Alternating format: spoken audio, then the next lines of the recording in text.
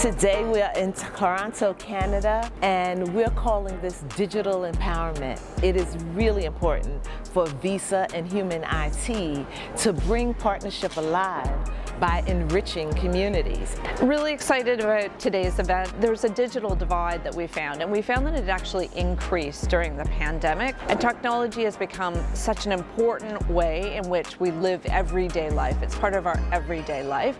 And so Visa's role here today is to help break the digital divide so that they can live their life and get careers and education and healthcare and increase their connectedness with their family and their friends. This is an investment in people. Each young person that has better access to digital services and products will do better for our country, for our community, for themselves, for their families. And they will prosper and create better economic opportunities, not just for themselves, but for all of us. You're enabling these young people to not just get by anymore, they start to get ahead, start to be better educated, get access to that better job and profession, train themselves and connect to their family members. Human IT is really thrilled to be on the Digital Empowerment Program. And there's quite a few things that make this program so unique.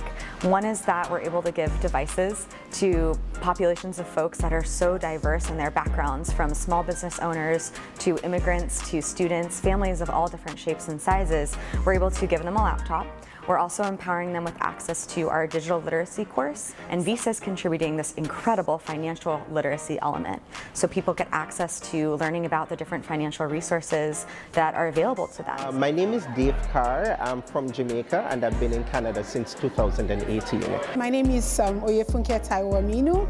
I'm from Nigeria, and I'm just um, some few months here in Canada. I'm able to connect with my friends and families across the world. I'm able to do uh, distance education education, which is something I'm doing now, and being able to have resource at my fingertip, that is something that is very beneficial and needed in this moment. Uh, professionally, I'm, i have an IT background and finance, so I look to into the career tech world so that I can um, function well in the IT sector.